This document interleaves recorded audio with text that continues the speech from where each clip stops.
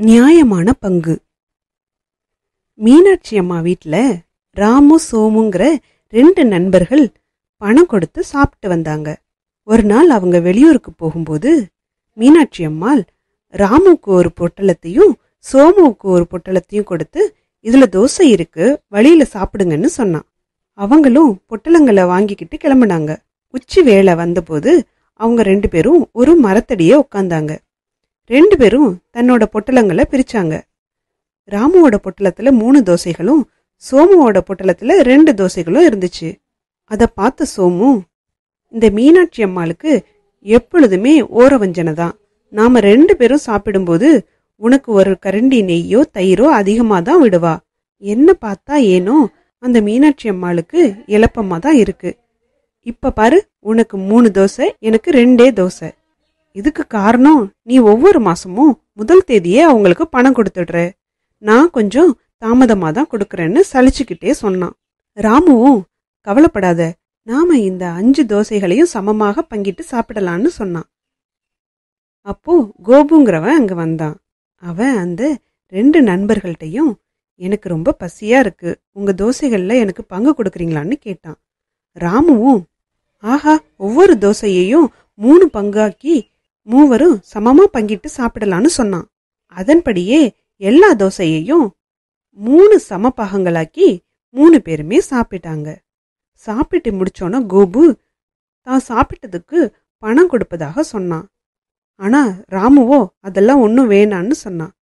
கோபுவோ அவன் கையில ஒரு ரூபாய் எத்தினிச்சு இது சாப்பாட்டோட விலையா வச்சுக்காம என்ன நீங்க உபசரிச்சதுக்காக வச்சுக்குங்கன்னு சொல்லிட்டு போயிட்டான். அப்போ ராமு கோபு நாம கொடுத்த உணவுக்கு இந்த ஒரு ரூபாய கொடுத்தான். என்னிட்ட இருந்தது மூணு தோசை உன்கிட்ட இருந்தது ரெண்டு. அதனால எனக்கு அறுபது பைசாவும் உனக்கு நாற்பது பைசாவும்னு சொல்லி அவனுக்கு நாற்பது பைசாவை கொடுத்தான். சோமுவோ நீ இன்னமும் பத்து பைசா எனக்கு கொடுக்கணும். நியாயமா இதை நாம சமமா பங்கிட்டு கொள்றது தான் சரின்னு சொல்லி நாற்பது பைசாவை வாங்கிக்கிட்டான். ராமுவோ அதெல்லாம் இல்லை. நான் சரியா தான் கணக்கு போட்டு கொடுத்துருக்கேன். என் கணக்கு சரிதான்னு சொன்னான்.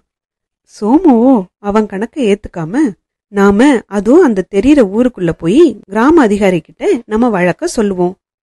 அவர் சொல்ற தீர்ப்பை ஏத்துக்கலான்னு சொன்னான். ராமுவும் அதுக்கு சரின்னு சொன்னான். ரெண்டு பேரும் அந்த கிராமத்தை அடைஞ்சாங்க. கிராம அதிகாரி கிட்ட அவங்க தன்னோட வழக்க சொல்லி நியாயமான தீர்ப்பு சொல்லும்படி கேட்டாங்க. கிராம அதிகாரியும் எல்லாத்தையும் கேட்டுட்டு சரியாக நியாயமான தீர்ப்பு தானே சொல்லணும்? என் தீர்ப்பை ரெண்டு பேரும் ஏத்துக்கிறீங்களான்னு கேட்டாரு. ரெண்டு பேருமே ஏத்துக்கிறோம்னு சொன்னாங்க. அப்போ அவர் சோமு நீ ராமுவுக்கு அவன் கொடுத்த நாற்பது பைசாவிலேருந்து இருபது பைசாவை அவன்கிட்ட கொடுத்துடு. கணக்குப்படி உனக்கு சேர வேண்டியது இருபது பைசாதான்னு சொன்னாரு. அதை கேட்ட சோமு ஆத்திரப்பட்டு நான் ராமுவிடமிருந்து பத்து பைசா கிடைக்கணும்னு இங்க வந்து கேட்டா நீங்க என்கிட்டேருந்து இருபது பைசாவை வாங்கி அவனுக்கு கொடுக்கறது நியாயமான்னு கேட்டான். கிராம அதிகாரியும் உன்னோட கணக்கு என்னன்னு விவரமா சொல்றேன். உன்கிட்ட ரெண்டு தோசைகளும் ராமு கிட்ட மூணு தோசைகளும் இருந்துச்சு. அவற்ற மூணு சமப்பாகங்களா ஆக்கி மூணு பேரும் சாப்பிட்டீங்க. ஒவ்வொருத்தர் சாப்பிட்டதும் அஞ்சு துண்டுகள்.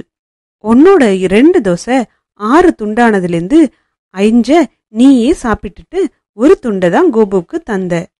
ராமு தன்னோட மூணு தோசைகளை ஒன்பது துண்டுகளாக்கி அஞ்ச தான் சாப்பிட்டுட்டு மீதி நான்கு துண்டுகளை கோபுவுக்கு கொடுத்தான். கோபு தான் சாப்பிட்ட அஞ்சு துண்டுகளுக்கு ஒரு ரூபாய் கொடுத்துட்டு போனான் ஒரு துண்டுக்கு இருபது பைசா வருது. அதனால சோமு கொடுத்த ஒரு துண்டுக்கு இருபது பைசா தான் கிடைக்கும். ராமு கொடுத்த நான்கு துண்டுகளுக்கு அவனுக்கு எண்பது பைசா கிடைக்கும்னு சொன்னாரு. சோமு அந்த தீர்ப்பை ஏத்துக்கிட்டு இருபது பைசாவை ராமுவுக்கு கொடுத்தான்.